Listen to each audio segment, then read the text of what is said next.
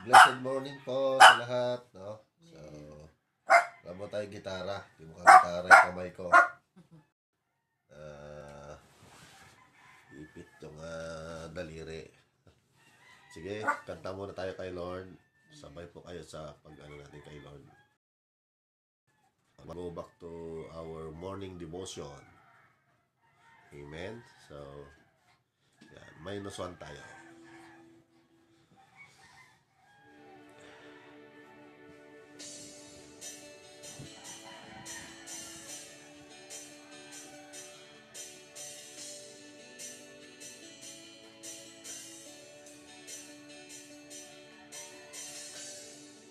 For love, fight again.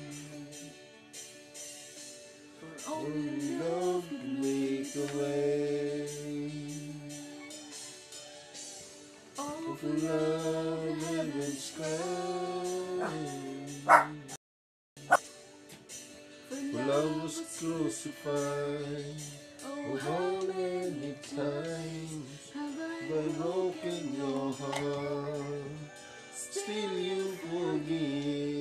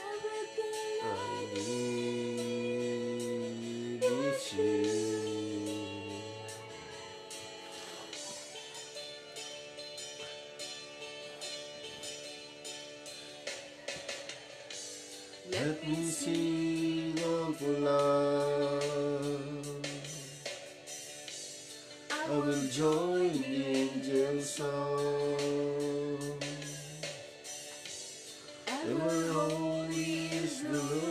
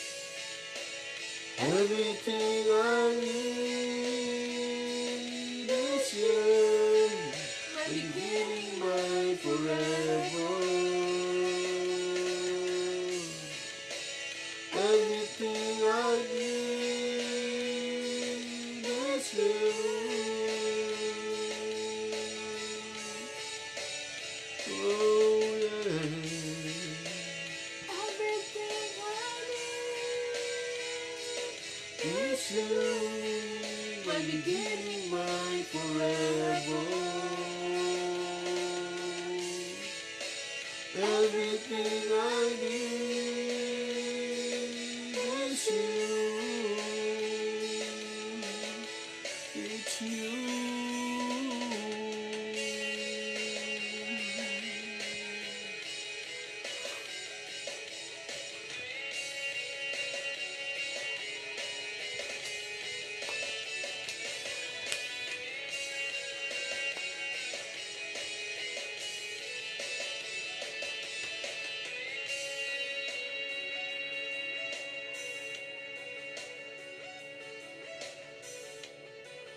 Amen. Hallelujah. Amen. Oh, For love, Savior, pain. Abba, Father, have your way.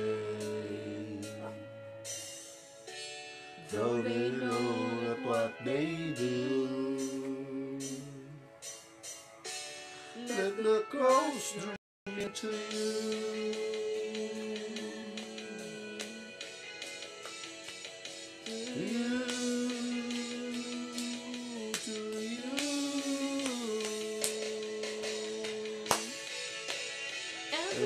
I you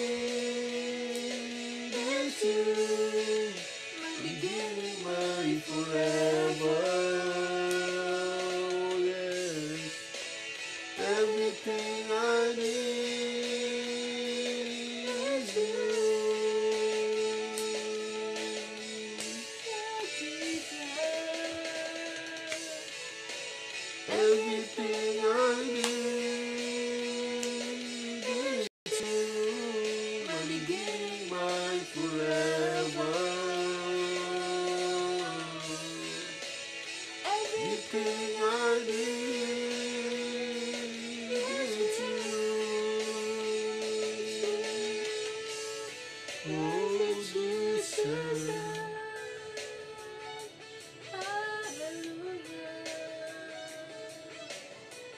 Yes, God. Hallelujah. Hallelujah.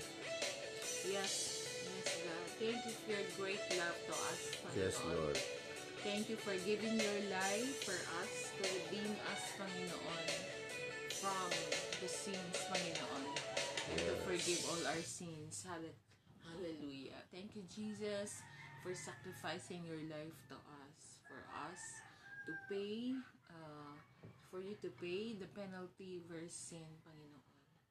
You are great, you are awesome, you are wonderful. Yes, Yes, Jesus. you are the author of love and you are the greatest lover. You are the greatest love of all. Yes, Salamat sa iyong Jesus. dakilang pag-ibig, Ama. Salamat aming Panginoon Heso Kristo. At sa umagang ito, kami po, Panginoon, ay nagpapasalamat sa inyo at tumutulog. Humihingi, Panginoon, ng patnubay ng banal na Espiritu.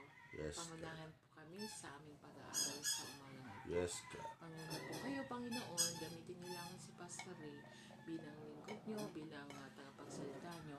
Ngunit ang inyong banal na espiritu ng malalim ng pahayag. Yes, At God. lahat ng mga makakapakinig, ang aming dalangin, ang bawat isa mapagpala ng mga salita. Magkaroon ng kalakasan, ng pag-asa, at patnubay, Panginoon, namin ang mga salita sa maghapong ito. Yes, Ito po ang aming dalangin sa pangalan ni Jesus. Amen. Amen. Hallelujah.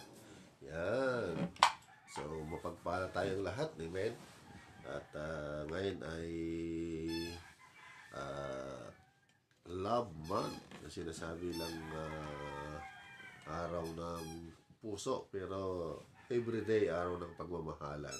Amen. Dahil si Lord, araw-araw niya tayong iniibig, araw-araw niya tayong minamahal. Hallelujah.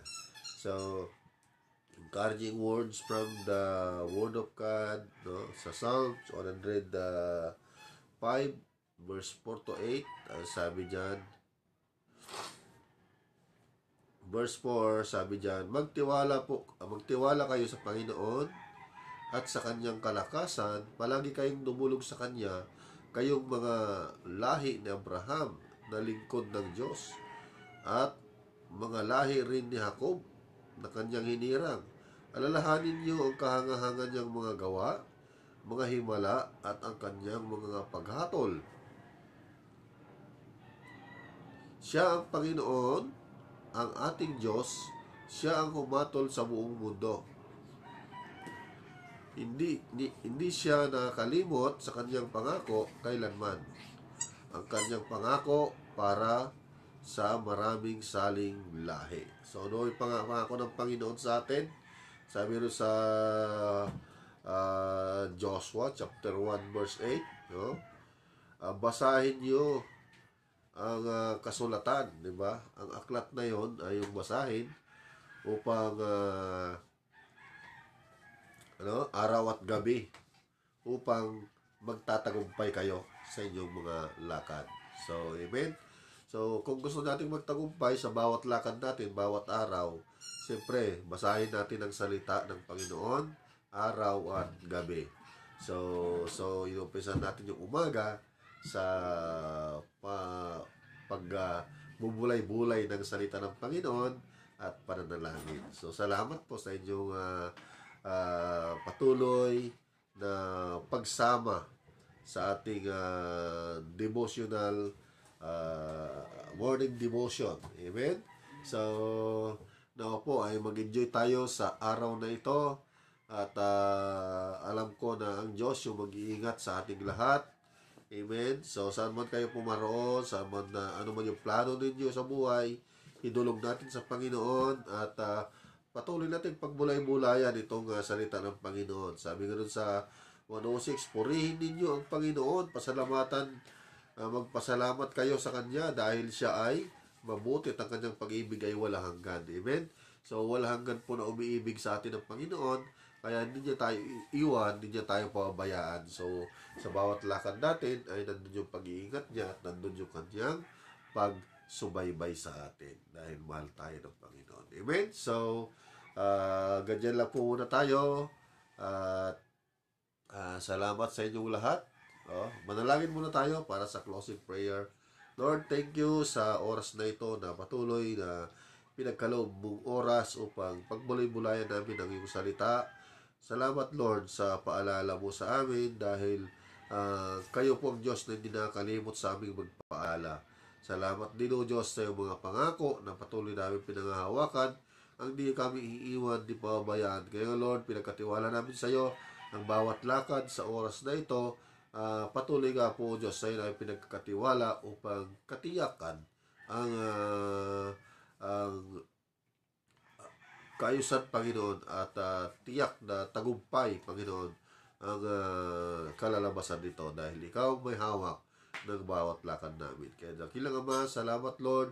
Bless you po kaming lahat. Bless you ang aming bansa. Bless you, Panginoon, ang aming family. Bless you ang aming mga tahanan. Bless you, Panginoon, ang bawat lugar namin. Higit sa lahat, bless you ang mga business. Bless you ang mga trabaho. At i-bless you, Panginoon, ang mga employer namin. At i-bless you, Panginoon, mga mahal namin sa buhay. This is our prayer in the mighty name of our Lord Jesus Christ. Amen and amen. So, hallelujah. Thank you po sa inyong lahat. Si Kuya ah, Enrico. Yan, kay Maria Moreno. Ah, thank you din kay Kuya Divisio Diog. Wow, taga Bayugan. God bless Kuya. Eh, see you tomorrow. Bye-bye po.